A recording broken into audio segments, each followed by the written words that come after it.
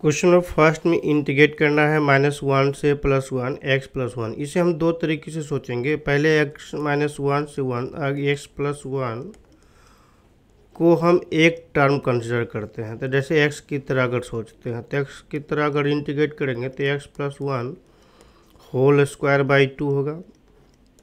फिर minus one और plus one upper limit, lower limit put करेंगे।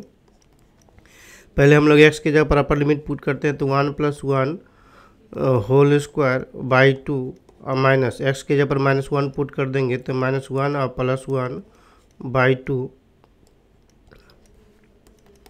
तो ये टू का स्क्वायर फोर बाई टू और माइनस ज़ीरो रह जाएगा, ये टू रह जाएगा तो टू हो जाएगा।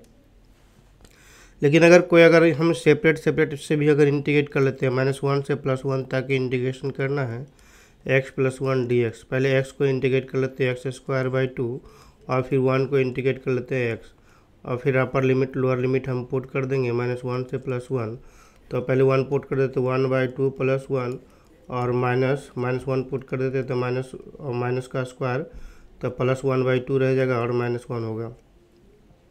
इसे फिर ब्रैकेट खोलेंगे तो one by two plus one minus one by two और प्लस वन तो ये one by two one by two cancel हो गया तो वन प्लस वन टू तो दोनों में सेम आंसर आता है। तो या तो हम पूरा एक टर्म कंसिडर करके चलेंगे नहीं तो सेपरेट सेपरेट कर लेंगे। आंसर आ गया।